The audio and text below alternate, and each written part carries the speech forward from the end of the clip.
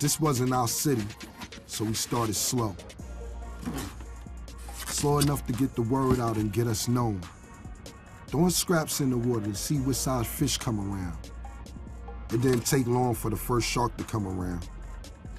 Duke was a small-time hustler from Mendocino with eyes bigger than his wallet. He linked us in with a network of commercially licensed growers from California. I mean, an army of white boys, all growing the finest engineered strains of piff right under the government's nose. Carter and I never seen anything like it. I mean, it's damn near perfect. They sold legally to medicinal dispensaries under Prop 215.